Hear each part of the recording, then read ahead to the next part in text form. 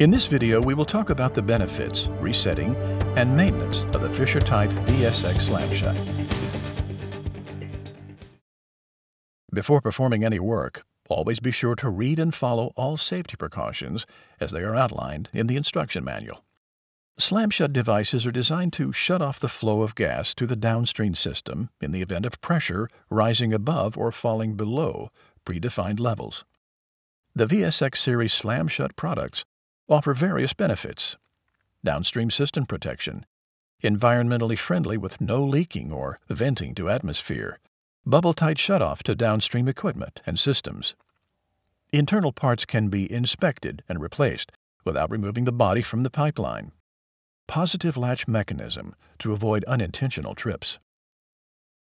There are two main parts of the VSX slam shut device a body with a removable orifice enclosed by a bonnet, a VSX series controller. The pressure measuring element of the VSX series controller consists of a diaphragm that senses downstream pressure. When the downstream pressure increases above the overpressure shutoff setting, the diaphragm moves up. When the downstream pressure decreases below the underpressure shutoff setting, the diaphragm moves down. Both of these actions result in the rotation of the cam and the release of the positive latch. The valve plug spring moves the valve plug against the regulator port, stopping the flow of gas. Before opening the valve plug, an equal pressure balance on inlet and outlet sides is required. In the event of exposure to an overpressure event, the device should be inspected for any damage that might have occurred. An optional remote notification switch can be installed offering the capability to remotely notify the operator should a slam shut event occur. Ensure that the slam shut device and its springs correspond to the desired operating conditions of the associated regulator. We are now going to show you the set point adjustment and resetting procedure for the VSX slam shut. Remove the closing cap. Increase the downstream pressure to the desired overpressure set point. Then, rearm the unit and turn the outside adjusting screw ring clockwise until the unit trips. Use a flathead screwdriver to turn the overpressure adjusting screw clockwise to increase the set point.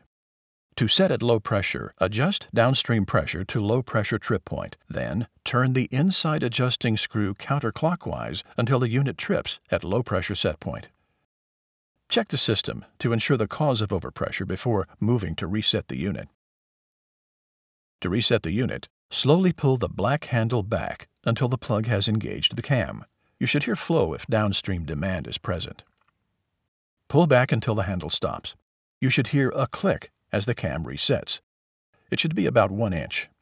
Slide the reset plug back into the actuator. The orange indicator should now be visible 1 8 of an inch exposed. VSX uses an orange indicator on the stem to indicate if the unit is tripped. If the indicator is no longer visible from the side, the unit has tripped. Due to normal wear or damage that may occur from external sources, the slam shut device should be inspected and maintained periodically. The frequency of inspection and replacement of parts depends upon the severity of service conditions or the requirements of local, state, and federal rules and regulations. If the slam shut device does not close at the desired pressures or leaks gas after closure, repair or replace the device. This will cover disassembling the unit to change the disc and orifice of the VSX slam shut device. Remove the four bolts connecting the VSX to the body. Pull the actuator away from the body.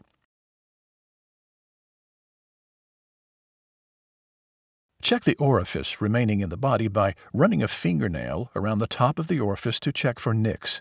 If there is any damage, replace. Check the disc by looking for any cuts or chunking. If damaged, replace by removing the cotter pin and pulling the disc off.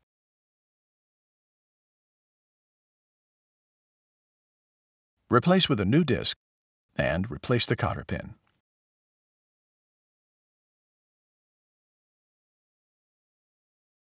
Add the two flange plates and replace the four bolts.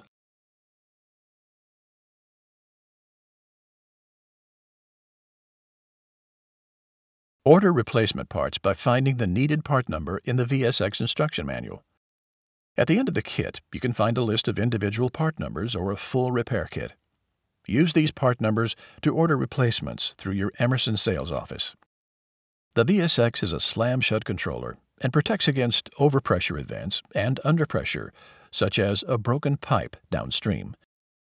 VSX is a standalone slam shut, but has the option of adding a commercial service regulator to the body later if pressure regulation is needed. VSX is easy to reset and bring the line back into service.